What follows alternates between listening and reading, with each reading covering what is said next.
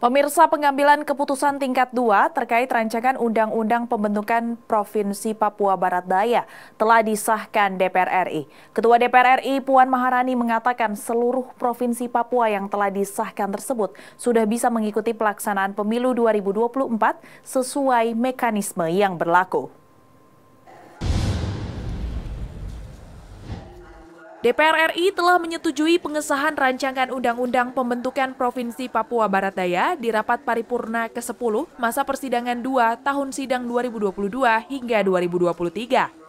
RUU tersebut disahkan usai mendengarkan laporan hasil pembahasan RUU Pembentukan Provinsi Papua Barat Daya yang dibacakan oleh anggota Komisi 2 DPR RI fraksi Partai Amanat Nasional, Gus Pardi Gaus.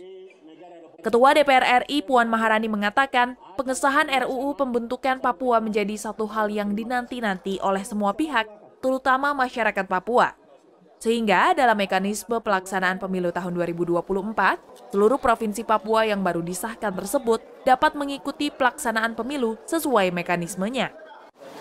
Ya baru saja eh, DPR RI dalam rapat paripurna mengesahkan rancangan undang-undang terkait dengan Papua Barat Daya yang mana tentu saja terkait dengan Undang-Undang Daerah Daya ini sudah ditunggu-tunggu sehingga nantinya dalam pelaksanaan mekanisme sehingga menuju pelaksanaan menuju uh, pemilu tahun 2024 kemudian uh, semua provinsi Papua yang baru disahkan ini sudah dapat mengikuti pelaksanaan pemilu secara uh, mekanismenya.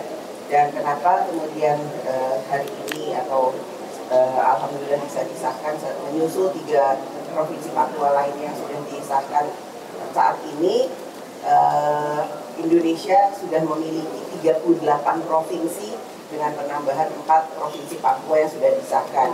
Saja ini terkait dengan pemerataan uh, sosial ekonomi kesejahteraan rakyat yang kami harapkan itu bisa bisa berlangsung secara adil dan merata dari timur sampai barat, dari barat juga menuju ke timur. Karenanya setelah ini kami berharap bahwa uh, pelaksanaannya itu bisa diikuti dengan mekanisme yang sebaik-baiknya uh, memang se uh, semata-mata adalah untuk kesejahteraan eh, secara ekonomi, pendidikan, sosial dan lain-lain sebagainya. Di sisi lain, Ketua Tim Percepatan Pemekaran Provinsi Papua Barat Daya, Lambertus Jitmau, mengucapkan terima kasih kepada Presiden Joko Widodo, Ketua DPR RI Puan Maharani, dan juga Komisi 2 DPR RI serta seluruh pihak yang terlibat dalam pembahasan RUU pembentukan Provinsi Papua. Di gedung yang mewah ini, di gedung yang megah ini, yang menentukan keputusan apa pun namanya, menjadi regulasi, menjadi undang-undang, sebagai payung hukum, sebagai dasar untuk kebijakan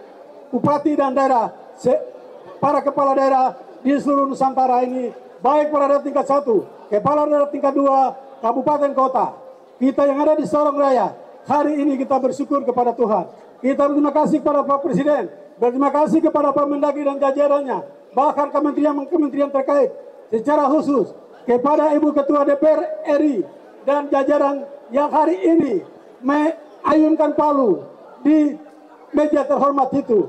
Akhirnya Undang-Undang Provinsi Daya terbentuk menjadi provinsi yang ke-38 di negeri ini dari Sabang sampai Merauke. Terima kasih dan terima kasih. Adanya Undang-Undang Pembentukan Papua Barat Daya juga bertujuan untuk mempercepat pemerataan pembangunan, peningkatan pelayanan publik, dan kesejahteraan masyarakat. Dengan disahkannya RUU Pembentukan Provinsi Papua Barat Daya menjadi undang-undang, kini provinsi di Indonesia telah berjumlah 38 provinsi. Dari Jakarta, Dio Malau, Nusantara TV melaporkan.